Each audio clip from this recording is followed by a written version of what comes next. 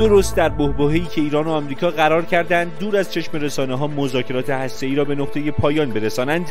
جریان های تندروی داخلی و خارجی همصدا با هم تعارف را کنار گذاشته و اسنادی را دست به دست می کنند تا بلکه این بار هم گفتگوها را در لبه پرتگاه بنشانند. انتشار یک فایل صوتی از رابرت مالی نمایندگی پیشین آمریکا در امور ایران از سوی یک رسانه داخلی و ردیف تحلیل های هدایت شده درباره اظهارات او باعث شد تا بار دیگر محافل خبری درجه بالایی از تب تند سیاستبازی جریان های پشت پرده را تجربه کنند اما ماجرا از چه قرار است؟ در 21 آوریل منابع امنیتی آمریکا به مالی اطلاع دادند که او در حفظ و نگهداری اسناد محرمانه با مشکل مواجه شده.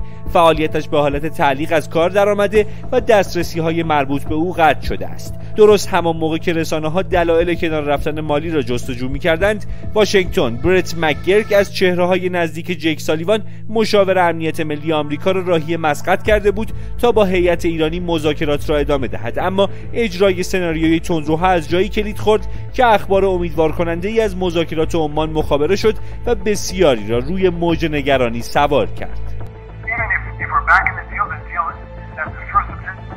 روزنامه انگلیسی زبان تهران تایمز چاپ تهران. یک فایل صوتی از رابرت مالی منتشر کرد که او در آن به سراحت تاکید می کند به دنبال آن است از مجرای احیای برجام و دستیابی به یک توافق تازه با ایران بار دیگر زمینه تشدید فشارها علیه ایران را هموار کند.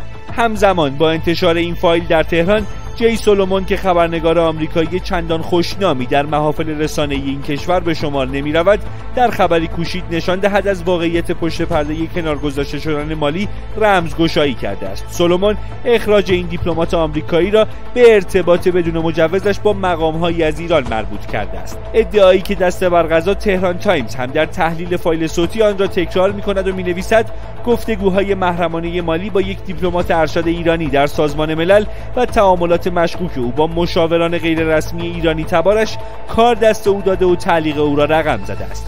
تحلیل مشترک تهران تایمز و جی سولومون در نتیجه گیری یک مخرج مشترک بیشتر نداشت. آن همین که مذاکره کنندگان ایرانی دیپلمات هایی ساده و فریب خورده هستند و آمریکایی ها قصد دارند برجام را پله کنند تا ایران را به چاه دیگری بیاندازند. سولومون نخستین خبرنگار آمریکایی است که وقتی برای روزنامه وال استریت جورنال قلم می‌زد ناگفته هایی از مذاکرات محرمانه میان ایران و آمریکا را که به توافق هسته‌ای سال 2015 انجامید افشا کرد اما بعدها وقتی رسانه مطبوعش اعلام کرد که او را به دلیل نقض قواعد اخلاقی حرفه‌ای اخراج کرده است معلوم شد در این افشاگری نه دغدغه خبری که دریافت دلار و سهام مالی از شخصی به نام فرهاد عظیما سرمایه‌دار آمریکایی ایرانی تبار نقش داشته است. خبرگزاری آسوشییتد پرس فرهاد عظیما را فردی معرفی کرده بود که فعالیت های گسترده در زمینه قاچاق تسلیحاتی و انجام معمولیت های محرمانه برای سیا داشته است. در دلالی خبری سولومون پای دلارهای عربی هم در میان بود. زمانی که او اخبار محرمانه ای از مذاکرات هسته‌ای منتهی به برجام را در ازای پول به برخی از کشورهای عربی میفروخت و به این ترتیب گره روی گره مذاکرات سخت هسته‌ای میانداخت.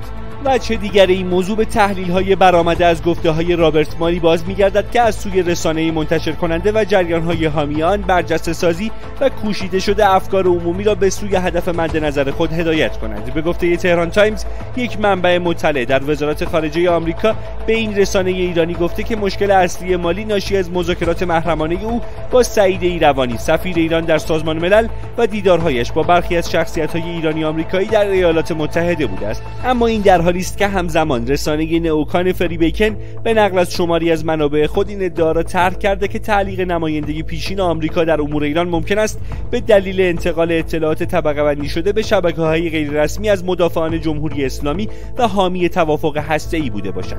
اما آنچه مسلم است اینکه هم مالی و هم ایروانی برای گفتگو با یکدیگر به مجوزهای امنیتی دسترسی داشته و مذاکرات آنها فارغ از هماهنگی دولتهایشان نبوده است. اما در ادامه پرسش هایی به ذهن متبادر می شود که انتظار می رود دست کم گروه های داخلی مخالف مذاکره درباره آنها به نهادهای زیرفت و همچنین افکار عمومی پاسخ دهند. نخستین که سند محرمانه از یک دیپلمات آمریکایی درست در بحبوحه‌ای که تحت شدیدترین تدابیر و تحقیقات امنیتی است چگونه به دست یک رسانه داخلی در ایران رسیده است؟ دیگر آنکه پای جی سولومون چطور به این ماجرا باز شده است؟ چرا او و تهران تایمز باید همزمان از روی دست هم درباره اخراج مالی کدهایی را منتشر کنند که ظاهرا جز آنها هیچ فرد و رسانه دیگری به آنها دسترسی نداشته است.